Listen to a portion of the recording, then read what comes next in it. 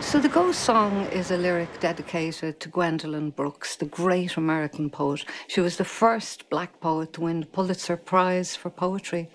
And one of the lines in it is the singers and workers that never handled the air. So my poem is a tribute to her. I suppose we're, we're at Christmas and the merriment of the streets and the excess and the frenetic pace of it all.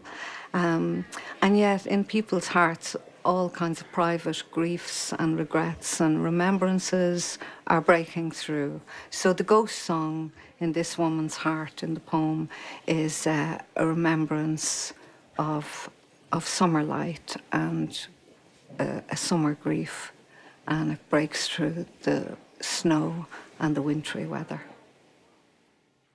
The singers and workers that never handled the air the singers and workers that never handled the air, a dream of summer.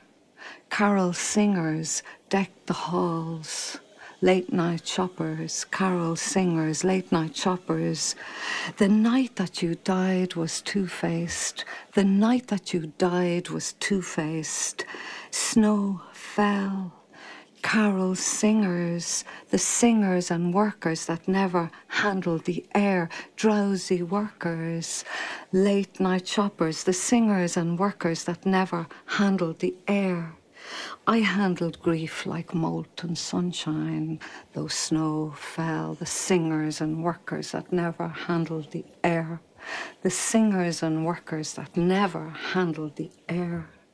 Your high, lithe ghost song, your high, lithe ghost song, your high, lithe ghost song from thinnest air, the singers and workers that never handled the air. I handled grief like molten sunshine. Learn to breathe your high, lithe ghost song from thinnest air, the singers and workers that never handled the air.